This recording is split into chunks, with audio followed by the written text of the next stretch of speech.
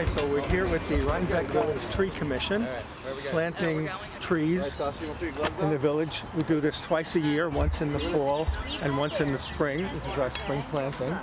We start with bare root trees because it's easy for people to handle them. If we had balled up trees, they'd weigh like 100 pounds a piece and we couldn't lift them.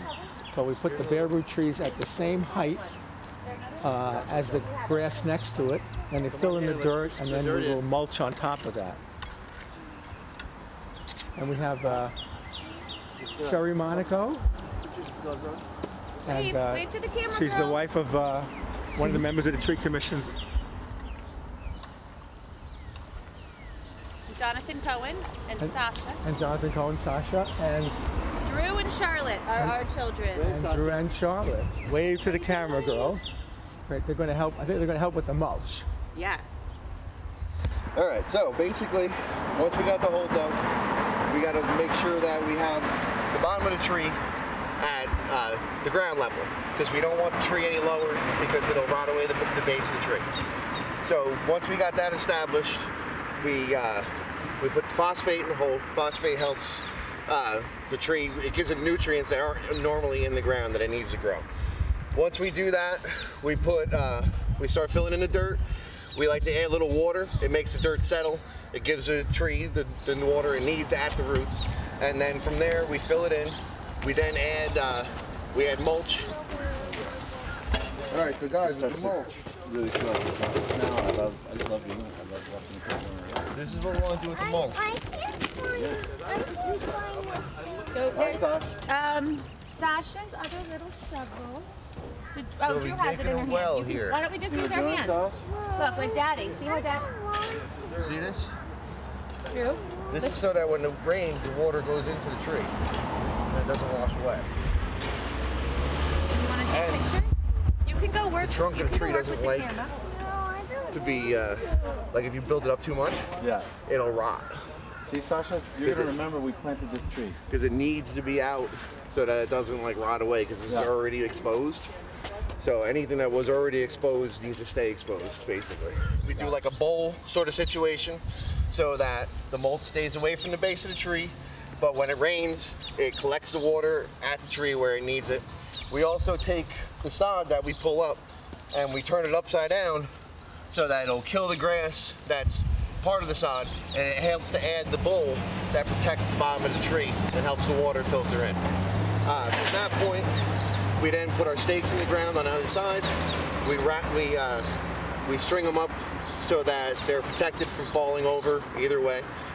Enough so that they're not actually cinched to the tree and it's not actually pulling the tree. The tree is just freestanding, but the the ties help it so that it doesn't get pulled over. Um, and then from there, we put these cages on the bottom so that nobody can uh, weed whack or damage the bottom of the tree. Because if you weed whack the bark off the bottom of the tree, you'll kill the tree.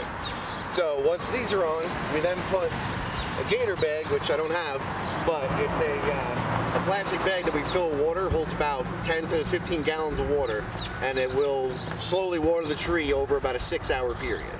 And we do that, we try to fill those up a couple of times a week when we first plant the tree because it really needs it. But uh, as we go on through the summer, it's more of like a once a week thing. And then at the end of the summer, we pick up the bags and we leave the trees alone. So. How long have you been on the tree commission? I've been on, uh, it's my second year on the tree commission. I've been doing this kind of work for over 20 years now. But uh, I was asked to be part of the tree commission because of what I do. I, I do landscaping and stuff. And uh, yeah, we do two plantings a year, spring and fall. And uh, it's all paid for by the village. And basically we ask uh, homeowners if we can put the trees in front of their houses because we want their compliance and we also give them an option of which trees they can have there's a couple different trees we do there's flowering trees and uh, ornamental trees basically what we're trying to do is replace our tree landscape with trees that can be trimmed and maintained underneath the power lines so that we have our urban landscape with our trees, but we still need to be able to, you know, trim them and maintain them.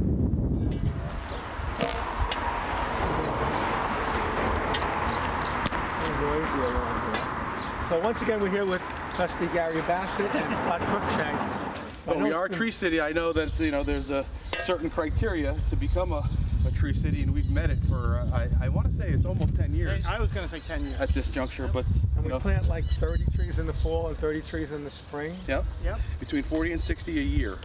I'm going to shovel some more dirt in. Yeah, we, we can put more dirt in here. So we keep ahead of the ones that die. Exactly. Yep.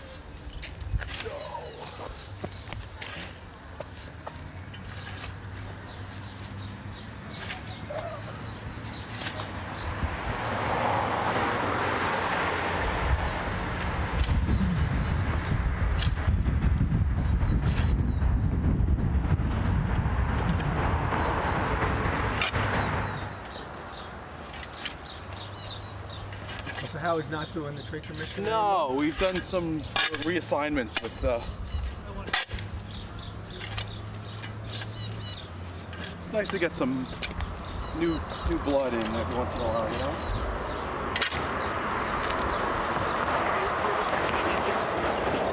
We're not pulling it all. Yeah. We're ready for water when it comes. So there's a cup. So we're, we're also here with Meg Crawford, who's another long-term member of the tree commission. I think she was one of the founding members of the tree commission. She's an arborist and uh, landscaper. Right, and I had my own nursery for many, many years. I still do have a nursery, but I'm not digging and replanting. But I grew trees and shrubs, and perennials, and ornamental grasses. Meg's going to explain to us the whole process of the tree commission and Tree City USA and what we're doing here today. So this is a Halloween-inspired uh, cherry tree, which we've chosen for this spot because it's narrow and because we've got a fence here and we've got a big road here. Part of the problem with the trees that were planted here before, which were Norway maples, was that they are too big a tree to go in a median like that. They have shallow roots that buck the sidewalk. As you can see, that was the tree that was in this spot before. Also, when it spreads out its limbs, it blocks signs at an intersection and it can clog the drains.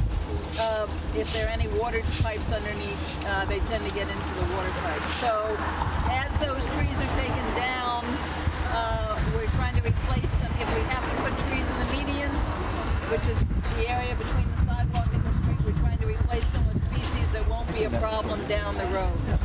So uh, this tree will be a beautiful spring flowering tree, great fall color, and it won't cause problems to either traffic flow or uh, the electric wires because of its narrow uh, profile. Coming out too slow. How long have you been on the tree commission? Uh, I was one of the, I originated it. What I- year? I helped to write the ordinance for it, which created the tree commission. What year? Cecily, do you remember the year the tree commission was formed? Cecily was our first president. Six years ago? Yeah. I think oh eight. I mean, yeah. Oh, eight? 2008, more than that. So it's uh, sort of the very few, the very beginnings, like with the with the park planting. Yeah. So our original planting took place in the mini park and also in the cemetery where we planted, we got a grant to plant uh, the sugar maples along the cemetery road um, on the, the new Grasmere side of the cemetery. And we also got a grant to plant small trees to hold the bank at the mini park, which the DEC helped to fund and we planted uh, trees uh, up near the hospital in that intersection between Montgomery Street and Route 9. Those were our original plantings and along Route 9. Thank you. And, uh, you know, ever since then, we've been trying to fill in spaces where there are um, empty spaces along the village streets and also in the mini and Legion parks. And we planted over 250 trees and all done with volunteers. And maybe have lost out of those, all those we've planted, maybe 10 trees, which is a pretty good average given the fact that these trees have been planted all by volunteers. So uh, we get our trees from a nursery in uh, near Ithaca, New York that uh, has had a lot of expertise help from Cornell in terms of not only the trees they grow for bare root plantings, which are the kind of plantings that we do here because they're lightweight and they recover quickly, but also because um, they put a special gel on the bare root uh, to protect it while it's in transport and before it's planted. And uh, Nina Bassuk, who heads the Urban Tree Forest Program at Cornell, works closely with this nursery that we get our trees from in order to uh, to supply, um, you know, the best kind of diversity of trees possible for people doing urban plantings all over uh, the Northeast. These trees go to Massachusetts. They go, I don't know how far north they go, but certainly all over New York State. And um, she's been very helpful for all people that are trying to do urban plantings in terms of you know, advising them how to do them best. She's also advised us a lot on the kind of um, paving we should use along our sidewalks and underneath our sidewalks to improve the viability uh, and the sustainability of the trees we plant. And I'm hoping um, in the near future to get um, to get the village board to pass, uh, in their zoning ordinance, to pass laws that say when sidewalks are replaced, that they put structural soil underneath the sidewalk, which allows the plant tree roots to move through those spaces without lifting the sidewalk. The reason trees lift the sidewalk is because they can't get enough oxygen underneath the sidewalk, which is impervious. And um, if they have a space that they can move through to get to a lawn on the other side of that sidewalk, they will do it. So I'm hoping that, you know, a zoning law can be passed so in the future all of our sidewalks will be underlaid with this structural soil instead of just regular um, gravel. So what is the Tree City USA? Tree City USA is a designation that was is given to us by the Arbor Day Association, and you get it if the village uh, spends a certain amount of money uh, per uh, resident uh, for a tree budget. And you also have to celebrate Arbor Day with plantings, they have different levels of uh, of award. And if you do a lot of educational program, if you do um, a lot, you know, of pruning and other things on top of what you've done on a regular basis in terms of planting, you can get a higher level of that award. That's basically what it is.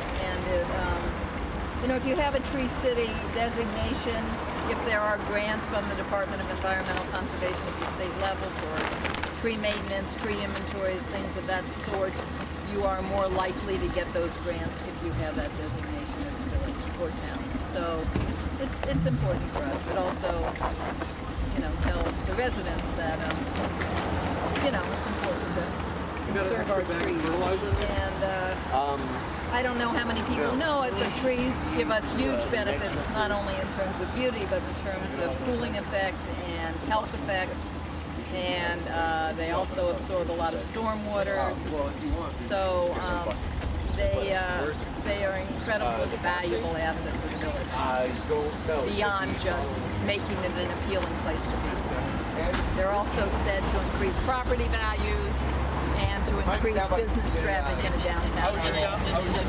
They do that. So, um, you know, trees are an important asset. What the village tree commission is really trying to do is introduce as many species as possible. We're losing all of our ash trees now due to a, a, a bug. We lost our chestnuts a while ago and our elms, and having too many of one species is a very dangerous proposition. So uh, when we did our inventory at the beginning, uh, maybe six years ago, we got a grant to do that. It was found that the Norway maple was the predominant species in our urban tree forest.